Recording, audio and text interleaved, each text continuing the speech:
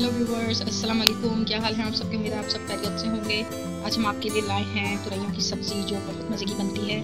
और आज जिस स्टाइल से हम बनाएँगे तो आपके बच्चे खुद आपसे कहेंगे कि, अम्मी, हमें तुरैयाँ खानी हैं। अमूमन, मैंने ये सुना है कि बच्चे तुरैयाँ, लौकी, टिंडे, ये नहीं खाते।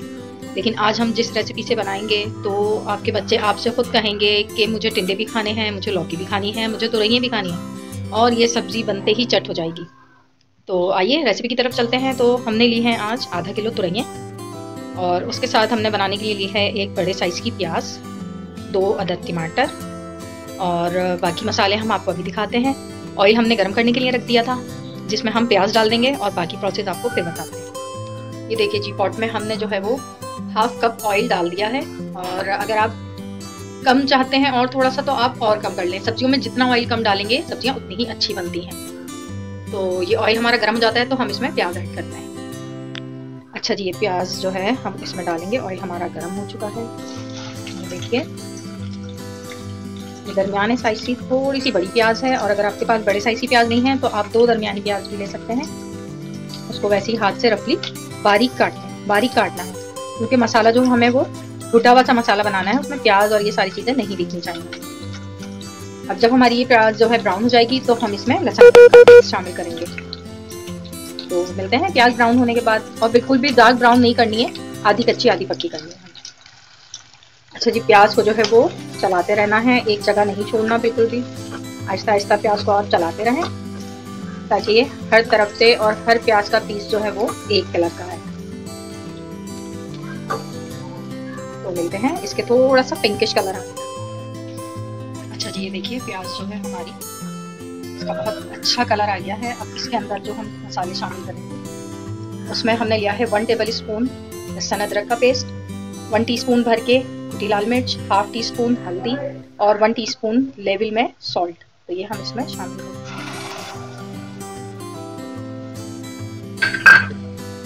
इसको इसके साथ भूनेंगे। जैसे ही हमारा लहसुन अदरक भी भून जाएगा फिर हम इसमें टमाटर शामिल करेंगे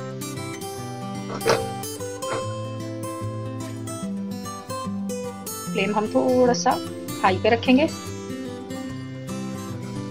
ये देखिए जी, किस कदर खूबसूरत। इसका कलर आया है, बहुत अच्छी सी गोल्डन सी सब्ज़ी बनती है ये। हर सब्ज़ी में जो आप हैं, वो कुटी मिर्चें डाला करें। कुटी मिर्चों से सब्ज़ियाँ बहुत अच्छी बनती हैं और यही रेसिपी है तुरैयों की भी, टिंडों की भी और लौकी की भी। हम आज तुरैये बना रहे हैं। इसी रेसिपी से आप हर सब्ज़ी बनाया करें तो बहुत अच्छी बनेगी। तमाम सब्जियों की यही रेसिपी है, लौकी, टिंडे और तुरई। ये गए जनाब हमारे टमाटर अब हम इसको मिक्स करेंगे।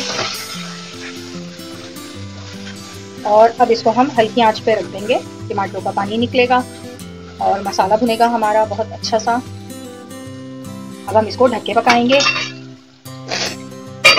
ये आ गया जनाब।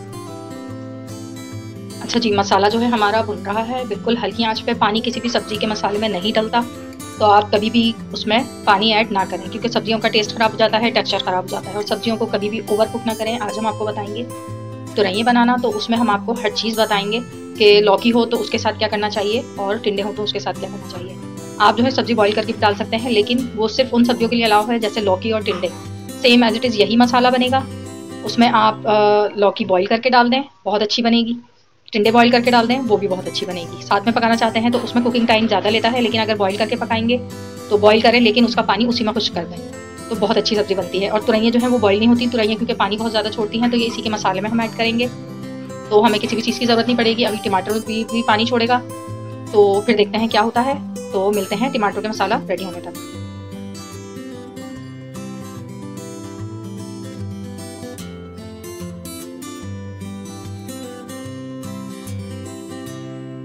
अच्छा जी, ये देखें मसाला जो है हमारा बहुत अच्छा सा भुन गया है। अब हम इसके अंदर अपनी सारी तुरैया ऐड कर देंगे। देखें थोड़ी थोड़ी डालें, मसाले के साथ मिक्स करें अच्छे से। एक साथ सारी नहीं डालनी। थोड़ी थोड़ी करके डालनी है और मिक्स करना है ताकि इक्वली तमाम सब्ज़ी पे मसाला बहुत अच्छा सा कवर हो जाए। ये देखिए। जो हमारे पास बची हुई है, हम ये भी डाल देंगे। ये हमारी तमाम तो तुरैया आ गई हैं। अब हम थोड़ा सा फ्लेम हाई करके इसको ढक के पकाएँगे। फ्लेम हाई करते हैं थोड़ा सा। ये देखिए जी। अब इसको हम ढक देंगे इस स्टेज पे। अब तो नहीं, अपना पानी छोड़ेंगी, उसके बाद हम इसे चेक करेंगे।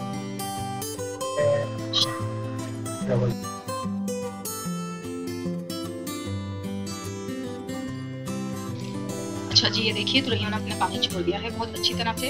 हम इसको थोड़ी देर भूनेंगे तुरैया हमारी गल चुकी है, और फिर हम इसको डिश आउट करेंगे। तो हम हाई फ्लेम पे इसको थोड़ा सा भूनते हैं, फिर आपसे अच्छा जी, ये देखिए तुरैया हमारी तैयार हो गई हैं, किस कदर हसीन इसका कलर आया है। आप इसका टेक्सचर देख सकते हैं, हम आपको करीब से दिखाते हैं। ये देखिए तुरैया गल चुकी हैं, लेकिन बिल्कुल ज़्यादा कुक नहीं करा है हमने। मसाला देखिए आप इसका इसका ऑयल देखिए, इसमें कितना है। तो आप जो है, जो हमने आपको रशो बताया है, इसी हिसाब से आप जितनी ज़्यादा सब्ज़ी चाहे बना सकते हैं। और लौकी टिंडे भी एज इट इज़ इसी तरह से बनेंगे तो आप सब्ज़ी बनाएँ, अपने बच्चों को चेक करवाएँ। इन गारंटी के साथ कि आपके बच्चे ये सब्ज़ी जो है छोड़ेंगे नहीं। फुल कंप्लीट चट कर जाएँगे। और ये बहुत मज़े की बनती है, पराठे से दें, रोटी से दें। मुझे डब रोटी से भी अच्छी लगती है तो मैं कभी कभार ब्रेड से भी, एक स्लाइस से इसको ले लेती हूँ। तो उम्मीद है आपको हमारी ये सब्ज़ी पसंद आई होगी। अपना फीडबैक ज़रूर दीजिएगा। दुआ में याद रखिएगा हमें। इंशाल्लाह मिलते हैं अपनी अगली किसी और नई अच्छी सी रेसिपी के साथ। हाफिज़।